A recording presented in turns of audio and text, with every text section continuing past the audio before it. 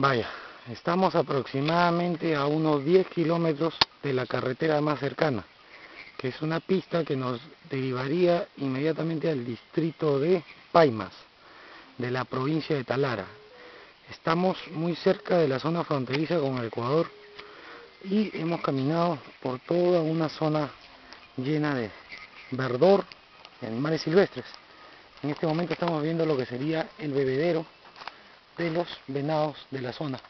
Y también podemos ver a lo lejos una vaca en un pequeño roso que ha sido cercado por algunos vecinos del pueblo más cercano llamado La Saucha, que traen hasta acá sus ganados para la época de invierno, que se alimenten del gas natural.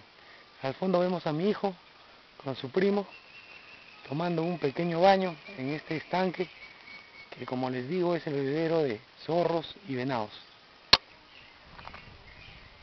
Árboles de todo tipo, aves también de todo tipo y un cielo realmente espectacular.